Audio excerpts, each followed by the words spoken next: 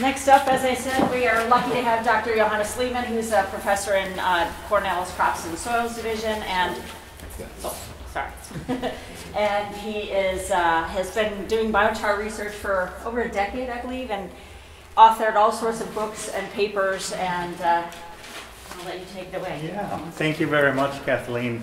Um, thank you very much for the organizers uh, to get us all together and uh, get us talking. I really enjoyed being here. Thank you, uh, Barbara Lifton, for being here, and, and Mike Hoffman for for uh, giving us this important information what Cornell is doing. So I'll um, give you a little bit of a, a wider overview of, of uh, how biochar sits in uh, carbon farming and then let the practitioners and, and, industry speak about the application. Next slide, please.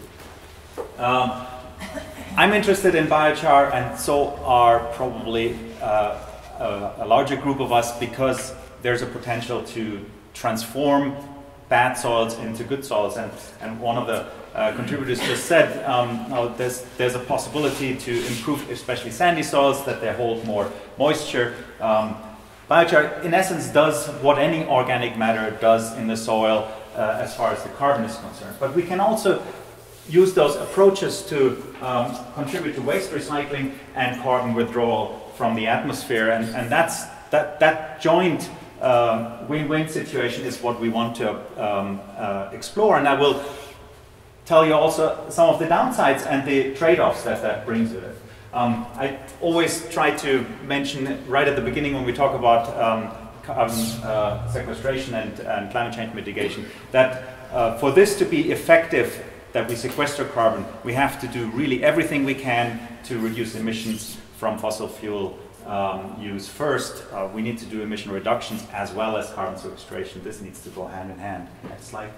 Um, we are interested in climate change mitigation for in, in the soil and carbon sequestration in the uh, soil because we can improve soil quality, but also we can climate, uh, uh, mitigate climate change. And, and um, because that goes hand in hand, it, it, is, a, a double win situation. Uh, those who improve and put carbon into soils, they're probably uh, um, mainly interested in, uh, in improving their productivity or soil health or other ecosystem services locally, water quality. Um, whether that makes a change for climate and we are withdrawing enough CO2 from the atmosphere through those uh, activities is, I think, uh, not the critical question to ask. Um, this is a no regret strategy. Uh, the worst that can happen is we have improved a bunch of soils and the farmers are happy. Um, we're growing local, uh, better food.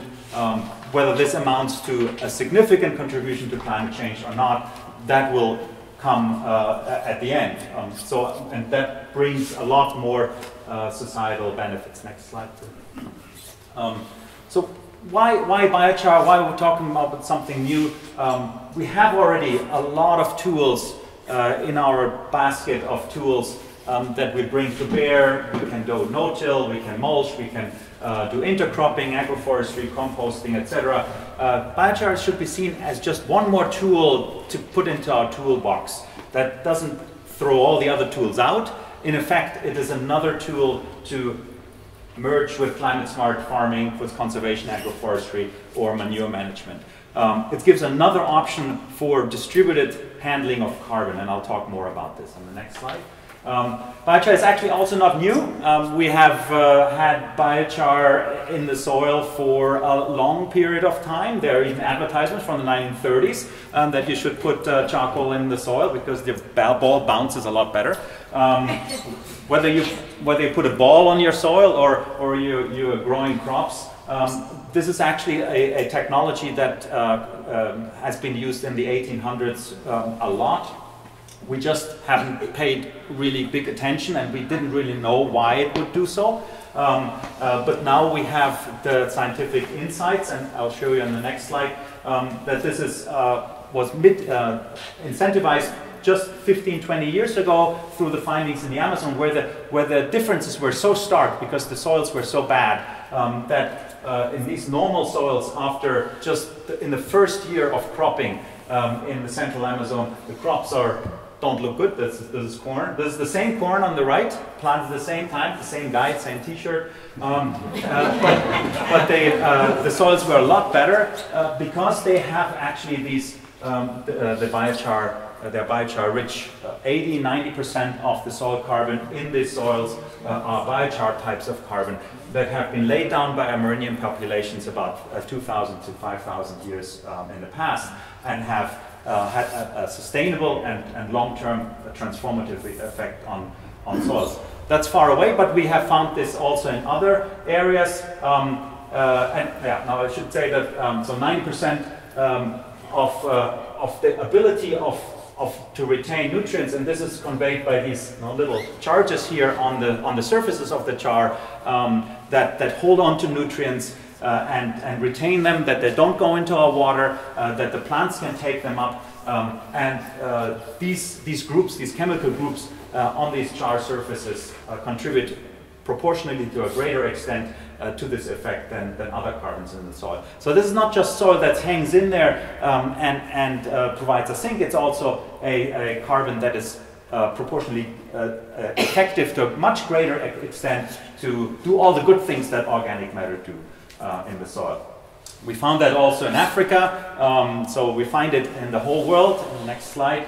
Um, uh, we find it in the mollisols of the Midwest um, that also have these uh, kind of uh, forms of char uh, that contribute proportionally to the greater extent to, to soil fertility than other carbons. So if you want to have a mollisol in upstate New York, if you want to have a fertile Midwestern soil in upstate New York, this is a way to get there.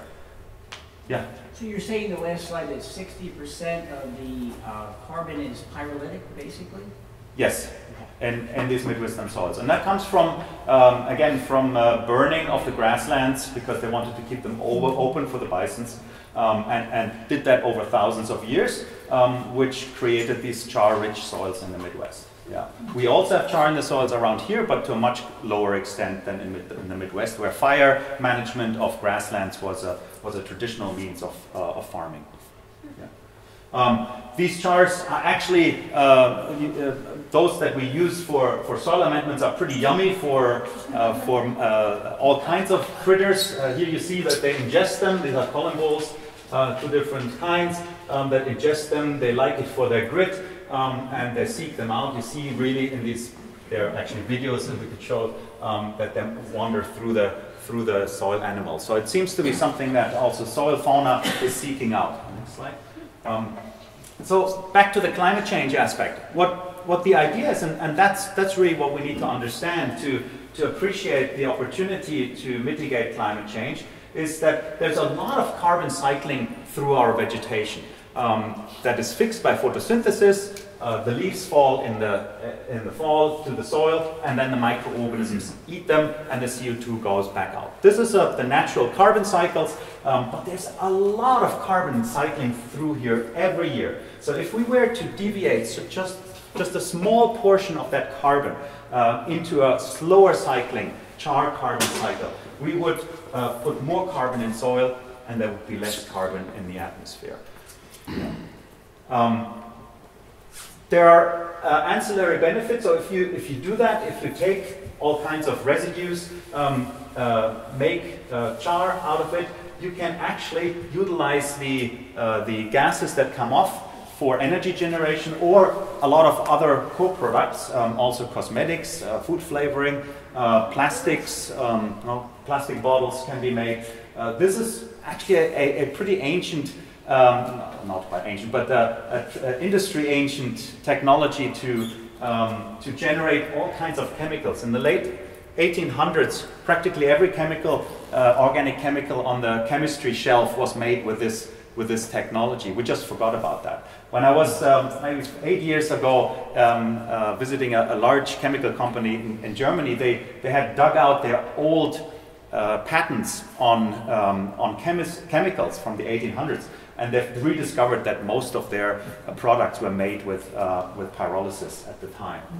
Um, so we can, we can uh, uh utilize the energy, um, and, and there is a, a, a, um, a, large community of bioenergy experts that are actually more interested in this uh, part of the story than in this, but together it makes a lot of sense.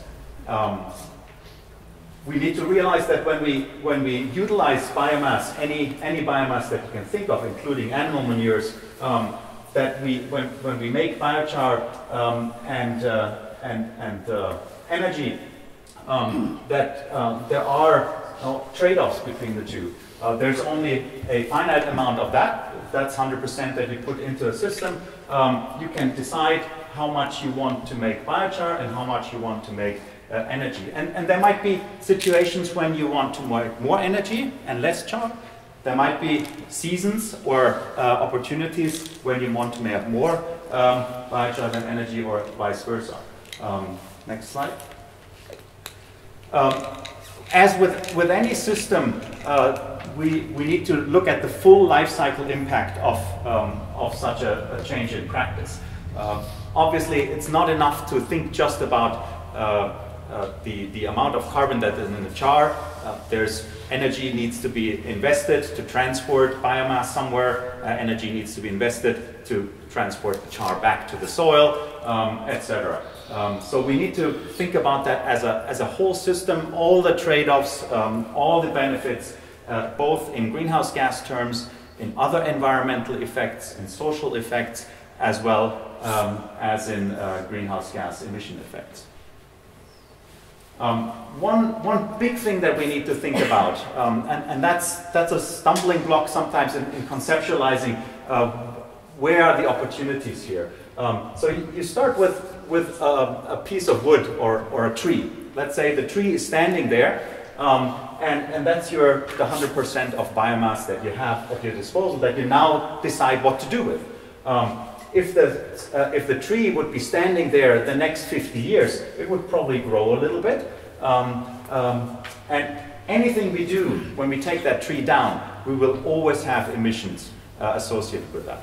Uh, so there's no really better thing than to have the tree keep standing there.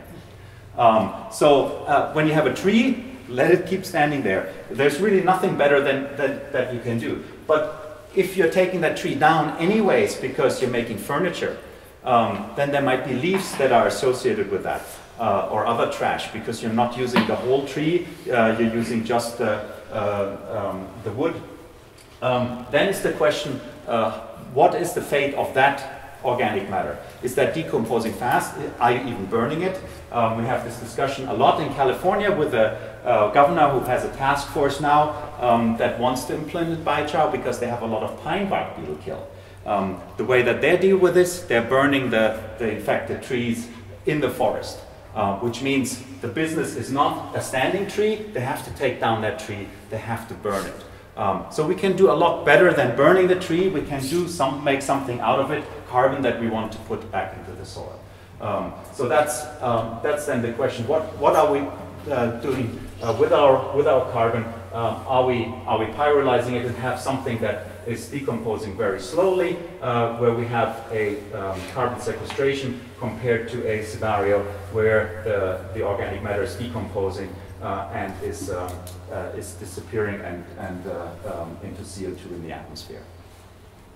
Um, when you do these, these life cycle assessments of the budgets of greenhouse gases, um, as done here for upstate New York with different scenarios, whether we use corn um, that is harvested late or corn that is harvested early, uh, a bioenergy crop, in this case we looked at switchgrass, uh, growing bioenergy crops dedicated for bioenergy, or we're collecting in Ithaca um, the, the, yard waste uh, that is, um, that is collected curbside or delivered to a waste recycling facility. Um, you can see at the numbers, so there's always a, a, a stack of bars um, that are all the emissions associated with the switch in practice and all the reductions. And then there is a difference, which is um, shown here.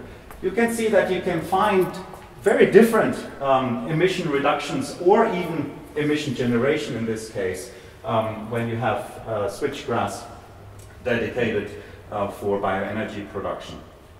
And so it's very important to understand where is the biomass coming from? Is it already on a truck?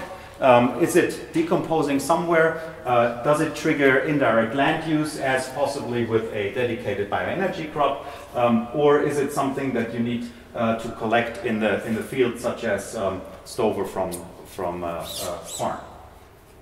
Um, what, one second. Yeah. So in, in this analysis, um, we, we actually only looked at, um, at the carbon flows uh, and compared a, a, pyrolysis biochar system with a combustion system uh, and found that um, the, the, the greenhouse gas balance is practically a wash um, whether you put the biochar in the soil and sequester carbon in the soil or you're using the biochar for additional energy production and therefore greenhouse gas um, offsets of uh, fossil fuel energy that you might need to, um, to uh, burn in, in lieu of the um, organic matter. Uh, so that means that um, if there are no soil effects, if, if we don't consider that the biochar increases crop productivity or does anything else good in the, um, in the soil, uh, then the emission reduction that we can claim either burning or charring uh, are roughly the same. Um, so that becomes then a question, does the biochar do anything good uh, in the soil in terms of crop production or any other environmental benefits beyond energy generation and offsetting carbon? Um, one of those effects is um, reductions in nitrous oxide emissions. So that nitrous oxide is another very, very potent greenhouse gas. Methane is another one um, uh, but N2 is actually the, the most vicious one. Um, and, and, it turns out that um, overall studies in, uh, that have been conducted so far uh, over the last five or eight years uh, uh around the world, um, that there's an average mitigation uh, over business as usual by 50, 55%. Um, so that's a, that's a long-lasting and very significant reduction in greenhouse gas emissions through a practice that goes on top of just the carbon sequestration. Um, so this is then the one that, that um, uh, tilts the, uh, the balance towards favoring the emission reductions through a biochar system uh, if there are additional greenhouse gas emission reductions that one can claim. Um, from a financial point of view, uh, the, the most important part is, of course, the back end. Um, even if we are generous and giving ourselves carbon credits and a good carbon price, uh, the, the only thing that will ever matter probably to the system and the, the financial aspects of the system, can the farmer generate more income at the back end through an improvement of uh, soil productivity. Um, and, and, you'll see here some scenarios that are from the northeast um, whether we have avoided storage of, of uh, wastes um, uh, or we are adding biochar to corn, where, whether we uh, generate energy as in, in, in uh, um, these four scenarios, uh, three scenarios, or we don't en generate energy, uh, whether we have a big plant or, or small plants. Um, what you see then, the balance after we look at all the expenditures and all the, the incomes, sometimes they are, they are negative, sometimes they're balanced, the only time they, they are really uh, beneficial in this analysis uh, was when we utilized biochar to a valuable crop such as asparagus. Um, uh, that had a beneficial increase in, in crop yield. It was a valuable crop, uh, and we had another benefit of avoided storage. Then uh, the financial uh, the financial panned out. Uh, whereas if we added to, to corn, that uh, whether there was an increase or not, it didn't matter much to the uh, to the financial because corn is, is very cheap. Um, that, uh, that didn't work at all. Also, if we can't uh, generate energy during biochar production, uh, it also ended up in a negative uh, financial balance. What storage are you avoiding? Storage of what? Um, of, of wood, of waste wood. Yeah. Uh, but you can make, we haven't done this uh, yet, but you can make the same claim, and I'll, I'll make that pitch uh, for animal manures. Um, where avoided storage is, is a big deal. Um, so what I would like you to remember is that uh, if, if there are no positive plant growth through the addition of biochar to soil and no other ecosystem benefits such as lower N2O emissions uh, or improved water quality, um, then there is probably no, also no uh, financial incentive um, to utilize this as a climate mitigation benefit, even if it does uh, uh, reduce uh, overall emissions. Um, the, the economic incentive really uh, hinges on, on the crop growth benefit. Um, and, and, and that's important to remember to, to have not the wrong incentive uh, for doing something like that. Um, as, uh, as it pertains to carbon farming or carbon sequestration in soils, um, this all hinges on, on crop growth benefits. Um, we have, oh, in, in history, we have uh, um, had a, started with a very integrated agricultural systems uh, where recycling of carbon and nutrients was very normal. The animal manure, kitchen waste, all went back into kitchen gardens and, and, uh, and primary productivity on farms. Um, over uh, our history in the last, especially last 100 to 200 years, we have disassociated uh, consumption of energy and nutrients from production of energy and nutrients. Um, what we want to utilize such systems for is to get nutrients and carbon back uh, to the primary productivity um, and back into the soils where we can grow additional crops, uh, which of course helps with, with waste reduction and, and costs at the back end as well. Um, we, we're starting now to work with farmers in upstate New York um, uh, to, to understand um, the, the uh, uh, nutrient and carbon inputs to water resources um, that, are, that you all are very familiar with, um, where there are already numerous technologies to uh, fine-tune manure additions to soils to make this site adapted and demand driven uh, to make sure that phosphorus, phosphates, and nitrates are not going or the, into uh, our water resources. Um, but this is still uh, a lot hinges on, on farmers' ability to do that. Um, and and uh, there's still uh, transportation issues to, to overcome. Um, and, uh, and ultimately, what we really want to do is get the nutrients out of the uh, watersheds. Um, and, and we can only do that if we make a valuable commodity uh, out of the, the manure. Uh, at the moment, as you all know, the, the nutrient values in, in animal manures, in dairy manures, is so low um, that, uh, that transportation already of 10 or 20 miles will eat up the, the nutrient value. So we need to make fertilizer products out of those uh, animal manures, um, and, and we'll do that also with biochar technology. Um, this can occur on, on many different scales and, and with many different systems, um, with systems that add a lot of um, char onto the soil, uh, especially if carbon sequestration is your entry point, uh, or remediation.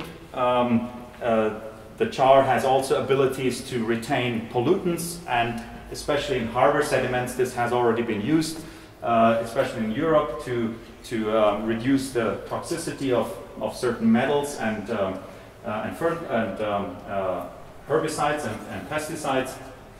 But one can also utilize uh, char at, at very small concentrations, so, for instance in inoculant carrier situations for beneficial microorganisms or as components of fertilizers. Yeah. Um, so what, what I would like to, you to, to know is that um, these biochars that one can produce from different feedstocks are very different, but also the, the biochar systems are very different from each other. And, and it matters um, where you insert this kind of knowledge um, of, um, of charring and, and, utilizing biochar in a system, depending on what you make it from, um, what kind of energy you produce, um, and what kind of soil application you envision. Uh, there are trade-offs, um, and I'll show you uh, that and I already introduced to you that there, there, might be benefits for soil fertility, soil remediation, climate change, biofuel, or energy production and waste disposal. Um, and ideally, uh, with biochar, we have greater benefits than without biochar. Um, but there are trade-offs between uh, making more biochar to add it to the soil versus making more biofuels and bioenergy uh, to offset fossil fuels. So we need to recognize that. Um, but there might also be uh, trade-offs between waste disposal and soil fertility. Uh, if, if our entry point is waste disposal, um, and that produces a char that is not quite as good for, not quite as effective um, for uh, soil fertility improvement. Uh, I would contest that we can, uh, we can make biochars um, that are uh, very effective in, in soil fertility amendment and reduce waste disposal costs, for, for instance, in, in animal manure um, disposal systems that, that we will be working for also as part of the soil health initiative that Barbara Lifton introduced earlier. Um, where does that uh, sit in terms of the global approach to, uh, to climate change mitigation? Um, we have a portfolio of approaches. No-till is part of that. Um, better grazing management, better cropland management, uh, possibly better root pheno phenotypes that put more carbon in soil, uh, up to restoring histosols um, uh, in this country, probably mostly in, in California.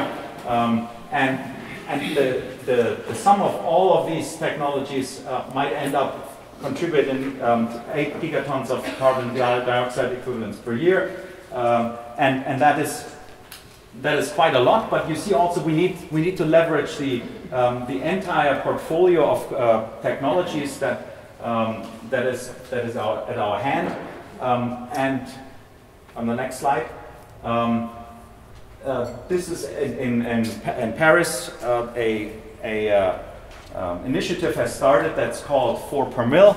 Uh, the French have been instrumental in rallying together um, a sizable amount of, of uh, key um, players in, uh, in the country, in the, in the world, such as the, the European Union, at that point also the US, um, to evaluate whether putting more carbon in soil could make a difference not just for farmers, but also for, um, for climate change mitigation. And, and the, the, the proposed 4, 4 per mil initiative would, um, uh, would require 6 gigatons or 6, six petagram of sequestration uh, globally per year. And and if you compare that with the 8 gigatons that I um, summed up in the earlier slide, in the, the, last slide, then you see that, that we're not far off, at least in, in the potential sequestration. So soils can make a contribution to mitigating climate change, a significant contribution if we put our mind to it. Um, and, and if we tune it in a way that, that uh, this also, and it has to improve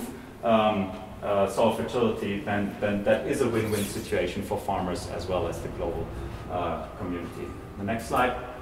Um, interestingly, um, uh, I'll have just a couple more slides. Um, the IPCC in its last report uh, said that um, uh, that uh, uh, the, the agri agriculture, forestry, and other land uses, so agriculture, all the, the, the, soil management is really the only way we can sequester enough carbon to avert dangerous climate change.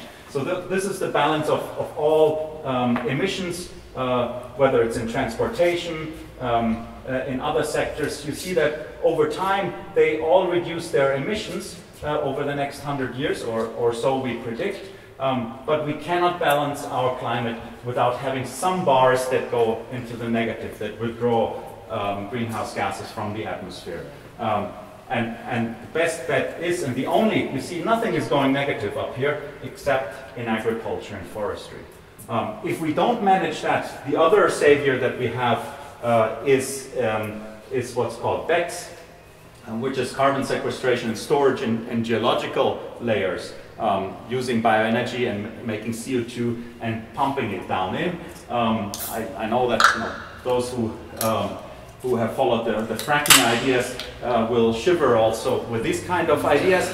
Um, but that's, that's the best bet that we have because we know that at the moment um, the, the, the, uh, the, potential is here to sequester carbon and greenhouse gases in agriculture. Um, but uh, but this, is, this relies on distributed change of practice, whereas this could uh, be policy driven uh, and, and money driven. Next, um, next slide. Um, so this um, this really highlights that you know, we are at a crossroads of, of decisions, uh, what we do with carbon. We know we need to put, take the carbon out of the atmosphere. Where do we want to put it? Um, do we want to do something like BECCS, where we have photosynthesis, we generate energy from biomass, um, we pump those, this CO2 into, uh, into uh, uh, geological layers, um, or do we want to put it into soils um, and improve soil fertility. So it, it becomes a, um, a, societal discussion at, them, at that point. Uh, where do we want to put our energy and our, our money? Do we want to put more, uh, generate more energy, or do we want to uh, put the, the, the, carbon where, where I think it belongs into the soil?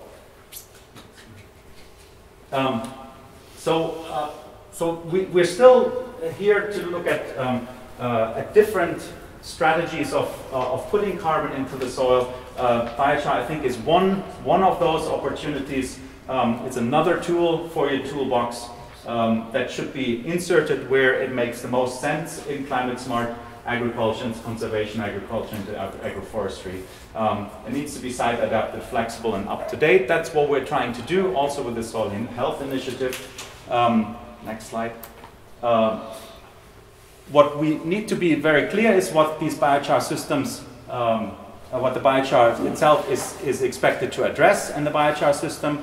Um, and, and that's where, where the industry is, is uh, uh, a step, uh, makes a huge steps ahead to identify useful products um, that can be utilized to address certain soil constraints and crop growth constraints um, and, and will be incredibly helpful in, in, uh, uh, in providing evidence for that.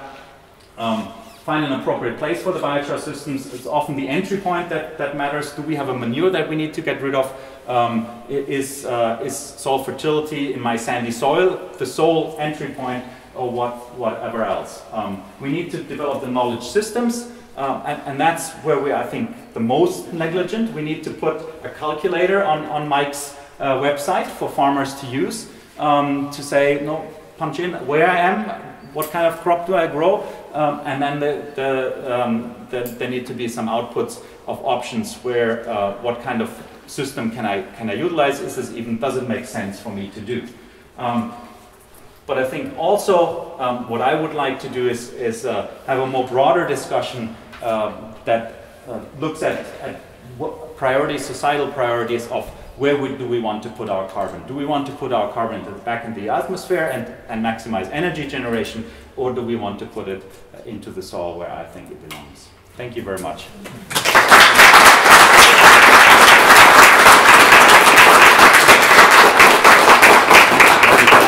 Answer any questions, and if there's time. Okay. Um, I've got a question. Uh, suppose, uh, like uh, when I used to work at Concoclis, so we decided, okay, there is organic biomass and we would convert that into biochar. So we can claim the uh, carbon credit. So my question is on uh, carbon uh, carbon credit claim. So through that, I got the carbon credit.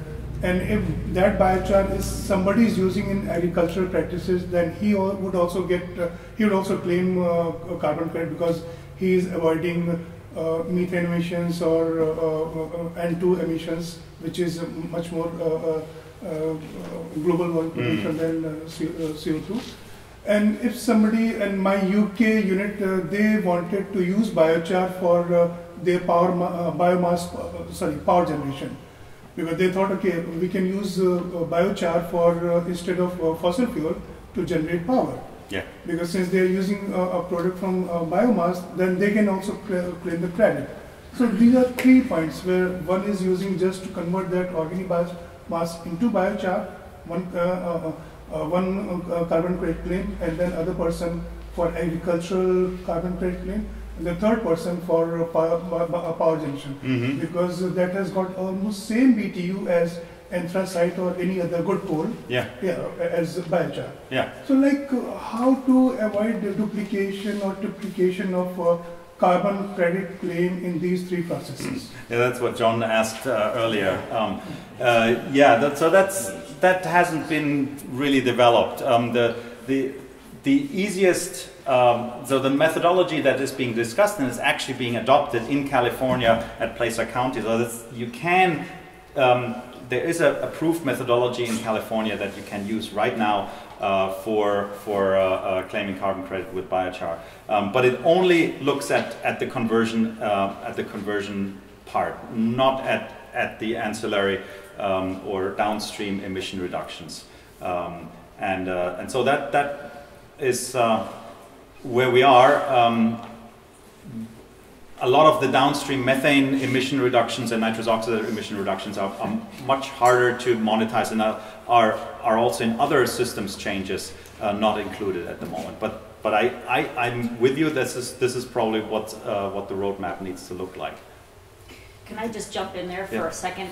So we are just starting discussions with the developers of the Comet Farm and Comet Planning tool, which is um, talked about in the New York State law, and that's something that already measures greenhouse gas uh, reductions. And we're talking to them about potentially adding a biochar module, but it's really early stages. So, Did you have a comment to that, Tom? was, I was just going to reinforce what Johannes is saying, and I think this is really important to understand because people who do project management are like accountants, right? So if you can count stuff and measure stuff, it's really easy. So it's really easy to say, I created this carbon offset when I made this biochar. Tick. It's actually really easy to say I fed this biochar into a power plant. Tick. As long as you don't double count, but you could you can measure that. What Johannes is arguing, and I'm going to give you all a bumper sticker that says soil matters if you want it, because soil does matter. And the problem is that when you start to improve the soil, which is going to deliver all sorts of ecosystem benefits to us, it is much harder to do that accountancy bookkeeping type of exercise. So as you think through the challenges that face us as a society to make the world better, there's a kind of tension between the accountancy and bookkeeping and the things that we do that make agricultural land better. So I think that's a really important point for us as a group who care about soil to take away. And while I'm talking and you're looking at me, there's one other thing I want to say. Johannes made a really great point earlier about manure, right? And in my misspent youth, I looked at some papers about manure, and I learned something really interesting about New York State, which may or may not still be true. So I looked at the phosphorus import of phosphorus fertilizer into New York State. And then I looked at the phosphorus waste problem in the manure from animals. And you know what? They to match. the nearest million tons, it was the same. So we're producing as much phosphorus manure, phosphorus in manure, as we're importing as fertilizer. And as far as I understand it, globally, the most limited nutrient that we have to us as a society is phosphorus. So it's kind of amazing to me that we ship this stuff out in manure, it goes into our waterways, and then we buy it from someone else. Um, and Johannes pointing Yeah. out a mechanism whereby we might close that loop. Yeah. My I, I'm going to interrupt because we only have time for maybe two quick questions. Yeah, I think you had, yeah, Anna. Uh, From my understanding, uh, how much carbon you can keep in the soil depends on a nitrogen-carbon balance. Does biochar increase the nitrogen in the soil as well? I mean, how does it deal with the carbon-nitrogen balance? Yeah, so that's that's has been always a, an interesting discussion, and, and I, I think it's a little bit of a um, red herring. It's absolutely true. We have a sort of fixed CN ratio. If you want to put more carbon in, you have to put more nitrogen in. Um, but we're also losing a lot of nitrogen all the time. Uh, so I think it is more a question about being more economical with our nitrogen so that we can put more carbon in the soil rather than arguing for every molecule of carbon we need to put half a molecule of nitrogen in and therefore it will cost us a lot of money and energy. Um, but um, to, your, to your question with uh, respect to biochar, um, yes, the, so this is, uh, it, it makes most sense to do this uh, with nitrogen poor feedstock, not with nitrogen rich feedstock.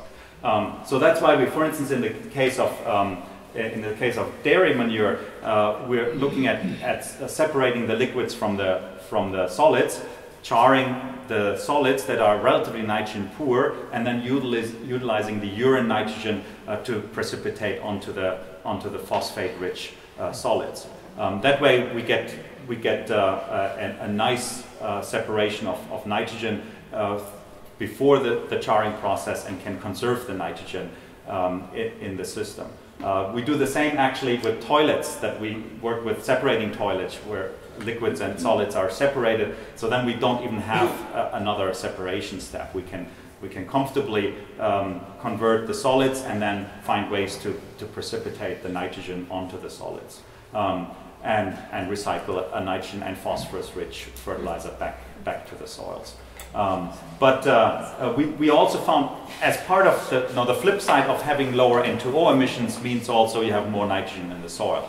Um, and, uh, and, and we have shown that with uh, um, several years of, of field studies uh, also in upstate New York, in, in Aurora, um, that we can improve the nitrogen economy. We retain more nitrogen in the soil uh, in, that, that had received biochar. That, uh, this one study in upstate New York is not enough, um, but uh, with uh, the new facility that we hope to inaugurate, also with Mike Hoffmann's help, that there's a poster outside uh, that will be inaugurated hopefully next month, um, uh, where we will generate larger amounts of char that we can start, finally start working with farmers in upstate New York um, and, and do on-farm trials with them, whoever wants um, to, to work with us on, on testing whether that works in their garden, in their horticultural operations, in their greenhouses, or, or in their uh, fields. Well, as the gentleman said back here, I mean, there's so much variability in these various soils and how uh, carbon affects it. How can you ever even decide if, if there's something being sequestered there or not?